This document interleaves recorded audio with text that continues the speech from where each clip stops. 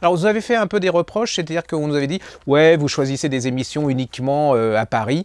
Et bien Fred, Fred qui est un grand voyageur, hein, nous a, et ben, il nous a concocté, nous a trouvé une, euh, exposition absolument fabuleuse, qui est une exposition consacrée à Matisse, à Lyon. Et alors, euh, cette, cette, exposition dure jusqu'au 6 mars 2017, donc vous avez hyper le temps. Hein. Et alors, je vous ai trouvé un livre absolument génial euh, qui s'appelle Le laboratoire intérieur de Henri Matisse. En fait, euh, c'est carrément le, catalogue de l'exposition de, Lyon. Et c'est absolument génial parce que, en fait, vous voyez à travers ce, beau livre comment Matisse va, à partir de dessins, va arriver à la peinture. Vous savez un peu le travail de cet homme, comment le, cheminement intellectuel et physique des grandes... Regardez, c'est le commentaire est absolument merveilleusement bien fichu.